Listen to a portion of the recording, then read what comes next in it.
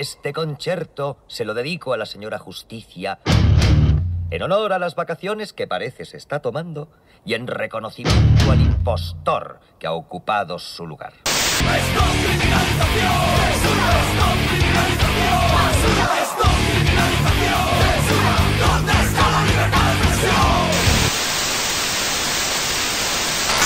Llevan dos años avisando, pero ya no pueden más. El Consejo de Informativos de Televisión Española denuncia públicamente en rueda de prensa una situación que dicen es límite. Los niveles de manipulación y censura han hundido la credibilidad de TVE y la acercan peligrosamente a los modelos de Telemadrid o Canal No. Solo en 2016 el Consejo presentó hasta 50 informes sobre malas prácticas en el telediario, informes plagados de casos de parcialidad, de manipulación, de falta de pluralidad o directamente de censura. Nosotros creemos que hay que dar la opinión de todos. A nosotros la eh, Constitución nos obliga en cuanto a la libertad de expresión. Pues no hemos dado libertad de expresión si en los programas de análisis de esa semana clave, y especialmente el 11 de septiembre, el Día de la Diada, se da voz a una parte y no a la otra. Se habla con la asociación eh, que fomenta o promueve eh, la sociedad civil catalana, vos, el acto de Tarragona, que hay que darlo, pero también hay que escuchar a la otra parte que dice que quiere hacer una diada, una independentista. Se da la voz al Partido Popular, al portavoz del Partido Popular, pero ese día no se da al DRC. En nuestro modelo, la censura consiste mm, casualmente en que los que se dicen de usuarios de la libertad de expresión y de la libertad de prensa son precisamente los que tienen el, derecho a la censura. Y me explico. Si nos damos cuenta, mm, en principio, en un sistema mm, comunicacional como el de España o el de Occidente, muy pocas cosas están prohibidas decir.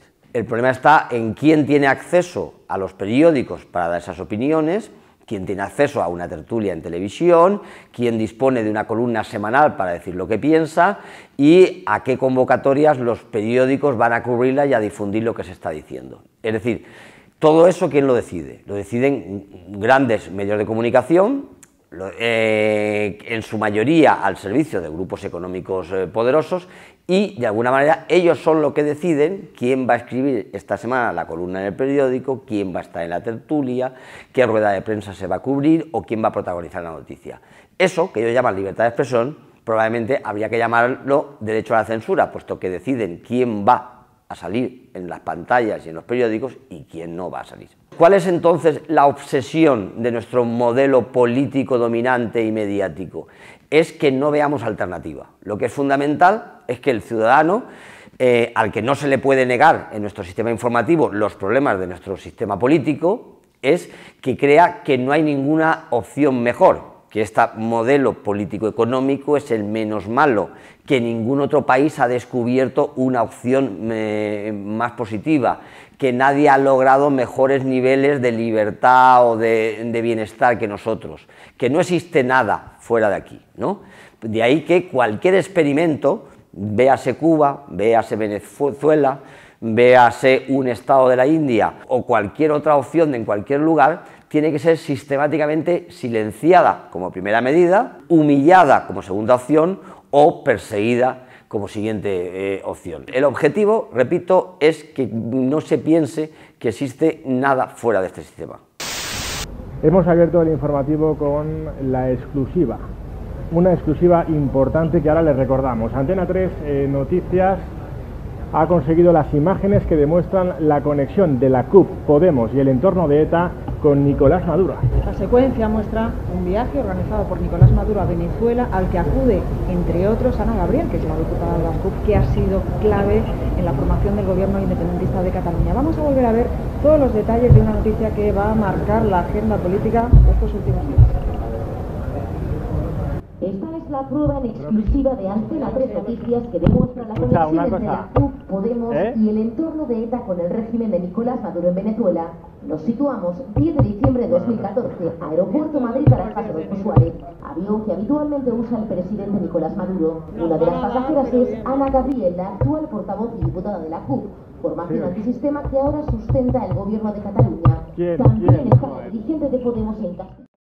El papel de los medios en eh, apoyar, generar eh, y conspirar para derrocar a gobiernos legítimos, para facilitar intervenciones eh, militares eh, incluso para asesinar líderes sociales, yo creo que ya está fuera de toda duda. Empezó con una sentencia del Tribunal Penal Internacional de los Grandes Lagos declarando crímenes de guerra el papel que habían tomado algunas mm, radios, Hutus y Tutsis, en el genocidio que sabéis que hubo en estos países. Es decir, hubo un Tribunal Penal Internacional que decidió que los medios podían cometer crímenes de guerra en la medida en que mm, provocaban enfrentamientos y generaban guerras. Bien, ese sistema se ha seguido manteniendo, ¿no? En algunos casos ha tenido la sanción de una Corte Penal Internacional y en otros casos la impunidad. Pero lo que está claro es que, como esa sentencia demostró, técnicamente es posible que los medios cometan crímenes de guerra, que los medios faciliten, faciliten lideren y ejecuten golpes de Estado, como el de Venezuela contra Chávez, y que eh, promuevan y creen eh, y ayuden a invasiones. Mira, vivimos unos tiempos históricos en los que tenemos como bueno que ya no se fácilmente no se puede invadir y atacar un país a la primera de cambio. Y como malo que sí se puede invadir y atacar un país si consigues el aval de la opinión pública internacional. Eso quiere decir que lo que hemos conseguido para bien y para mal es que hay un obstáculo que hay que superar, la opinión pública. Y el encargado, el, el agente militar encargado de solventar esa mm, primera trinchera, que es la opinión pública, son los medios de comunicación. ¿Cómo se llama el presidente de Venezuela? Mm, Nicolás Maduro. Maduro. Nicolás Maduro. Nicolás Maduro. Correcto. ¿Venezuela es una dictadura o una democracia? Es una dictadura. Yo diría dictadura. Una dictadura. Es una dictadura. ¿Qué te hace pensar que Venezuela es una dictadura? Pues el... Eh, Porque... Bueno. Pues por las cosas que hacen y el sistema que emplean es muy complicado. La manera autoritaria en que se lleva el régimen en Venezuela. El régimen que llevan ahora mismo. Bueno, aunque pretendan dar eh, mensajes demócratas, eh, la verdad es que los hechos y los discursos son totalmente populistas y de derechas.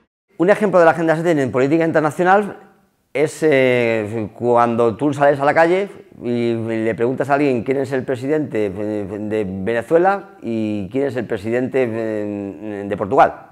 O si le preguntas si conoce a algún presidente de Bolivia antes de Evo Morales.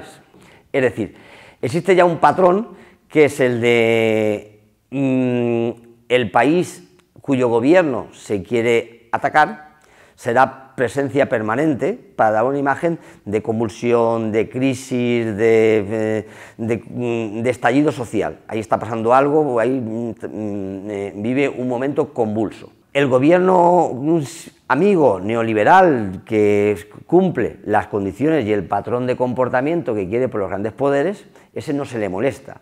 Se le da el apagón informativo para que aplique sus políticas neoliberales sin ningún obstáculo. Ese nombre nunca saldrá ese presidente, las huelgas, las movilizaciones, las luchas, las actividades de la oposición serán silenciadas. Entonces, si mañana vuelca un autobús de cinco personas en Venezuela, habrán muerto cinco personas en el país de Maduro. Si mañana matan 30 eh, indígenas los narcotraficantes de Guatemala o de Marruecos, nunca aparecerá el nombre del rey de Marruecos ni del presidente de, Guatemala, aunque probablemente tenga más relación con el sistema de narcotráfico de su país que Maduro con la circulación del autobús en Caracas. Es un personaje multimedia que desde un punto de vista del, lenguaje populista pues lo define de arriba abajo. Es, es el populismo del siglo XXI. Llega Jueves Santo, Viernes Santo, es fiesta nacional. Sí. Religiosa, pero también festivo. Sí. Aquí en Marinaleda. No es fiesta, que ha sido sustituida la Semana Santa por el señor alcalde por una semana cultural. Bueno, luego, luego hablaremos de eso, pero Beatriz, hay que decirle a estos nuevos Robin Hoods bueno, que... Robin Hood a mí hay algo que no me gusta nada. Eso no es el pueblo clamando justicia, eso es el expolio del negocio de hombres eh, justos y trabajadores. Señor Cañamero, ¿quiere usted responder? Hombre, a mí, me da la, a mí me da la impresión que esto es un juicio, no es una entrevista, ni es un programa de debate. Esto es un juicio sumarial contra Sánchez Gordillo, contra el sindicato y contra mí, ¿no? Creo que las opciones políticas que en ese patrón que ya es internacional y que es común, los experimentos, las opciones políticas o los líderes que se enfrentan al modelo desde sus pilares eh, básicos, dígase luchar contra eh, el euro, eh, investir contra el modelo económico de la Unión Europea, eh, apoyar modelos mm, irreverentes como Cuba y Venezuela, todo eso forma parte de un apagón informativo tremendo. De todos modos, las manipulaciones son complejas, quiere decir, es un combo, ¿no? Es decir, hay cosas que se silencian, otras se magnifican, otras se retuercen, aquellas se tergiversan, las otras se ponen en un contexto mm, perverso sin necesidad de que sea falso. Es decir, con todo este combo es como consigues tener a la gente en el limo de la desinformación. Nuevo escándalo protagonizado por el Ayuntamiento de Madrid. Verán, el carnaval infantil ha acabado esta tarde con gritos y con llantos de decenas de niños. El Ayuntamiento de Manuela Carmena ha contratado a una compañía de títeres que ha comenzado a ahorcar a muñecos que representaban a monjas y a jueces, también a alguna mujer embarazada. Pero es que además ha habido proclamas a favor de ETA. Bueno, desgraciadamente mm, yo creo que necesitamos una, una ciudadanía con un nivel cultural previo para poder interpretar el mundo. ¿no? Manuel Castel contaba que con este sistema de información, con esta sobredosis de información, con este exceso de información, el mundo se divide en unas personas que toda esta información la aprovechan bien para luchar políticamente por un mundo mejor o bien para mantener el modelo porque forman parte del Estado dominante y luego una gran mayoría, esto vive en un torbellino, que yo llamaría en una empanada, ¿no? informativa, en la que no se enteran de nada, si a esto le, añadimos, es decir, los bulos, las fake news, los engaños de los políticos y toda la paja, toda la basura y todo el ruido, desgraciadamente, una gran este exceso de, de, información lo que está provocando es mucha basura y mucha desinformación paradójicamente. ¿no? Quiero decir con esto que cualquier información rigurosa que se quiera hacer sobre opciones diferentes del pensamiento dominante, ¿no? necesitan no solamente una ciudadanía mm, crítica, sino también necesita una ciudadanía que parta ya de un nivel cultural determinado. ¿no? De ahí que esa necesidad de simbiosis entre nuestro sistema cultural, la formación de la ciudadanía y una buena comunicación es fundamental. La idea del libro era explicar un poco el déficit democrático que hay en nuestro sistema de medios. ¿no? En, qué medida eh, las televisiones, los periódicos, las radios están al servicio de una élite, de un oligopolio que es el que tiene prácticamente el derecho a la censura que hablábamos al principio, eh, tiene el derecho a decidir lo que se difunde y lo que no se difunde, cuáles son los mecanismos que se necesitan, pues, en mi opinión, para que el ciudadano tenga acceso a esos medios y en el fondo reivindicar la libertad de expresión que ellos hablan, no como la libertad de expresión de unos medios de comunicación, que es su origen, tampoco la libertad de expresión de unos periodistas, sino la libertad de expresión de unos ciudadanos. Es decir, el objeto del derecho eh, a, a expresarse y a informarse es el ciudadano. Por eso a mí me gusta más hablar del derecho a, informar y a estar informado. Y aquí el papel del Estado es fundamental como garante de los derechos sociales de, todos los ciudadanos, de los poderes públicos, y se recoge también algunos de los ejemplos mm, con sus grandezas y sus miserias que se han hecho en varios países latinoamericanos por gobiernos progresistas que han intentado avanzar en esta materia. Todos debemos aspirar a conocer profundamente a la entraña española y hacer eficaz el esfuerzo común por una España mejor.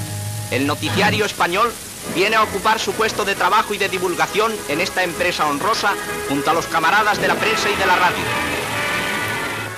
Cuando uno vive en una dictadura, cuando los ciudadanos vivían en la dictadura franquista, sabían que había una censura y buscaban una información fuera, otros, eh, por otras vías, por otros medios. La gran tragedia de, eh, de los modelos occidentales es que la gente cree que está informada, cree que tiene acceso a todas las voces y entonces no busca, no busca fuera.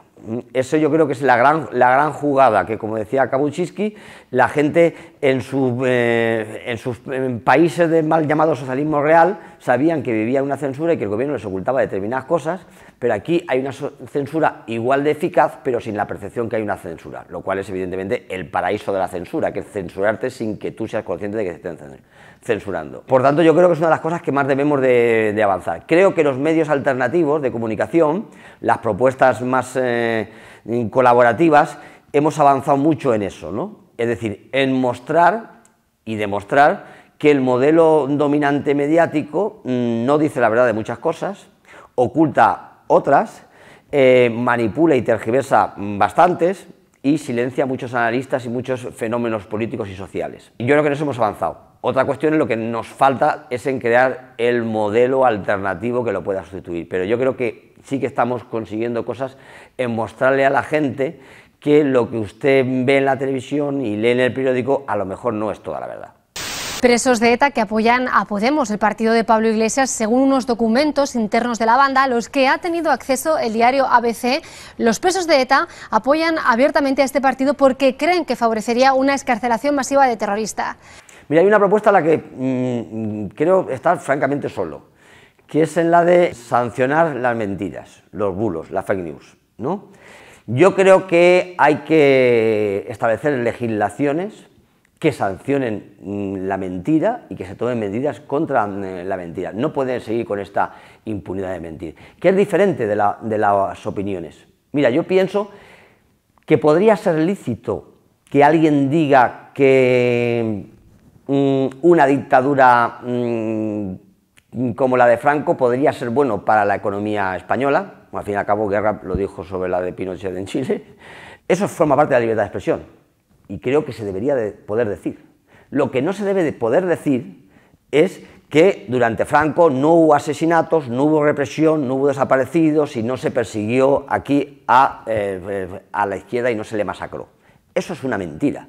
Y como es una mentira histórica, creo que no se debe de permitir que se diga, porque si no, tendremos, nos daremos cuenta de que habrá, como cada vez, como ha sucedido en Brasil, como sucedió en Estados Unidos, opciones políticas triunfantes crecidas, basadas y fundamentadas en la mentira. Es decir, yo creo que no podemos seguir así y que la izquierda no está entrando en esa situación porque sigue creyendo que va a ser una entrada a la censura. Y repito, la censura hace mucho tiempo que está aquí. Es la de quien no nos deja publicar o no te deja salir en televisión. itzermen mundu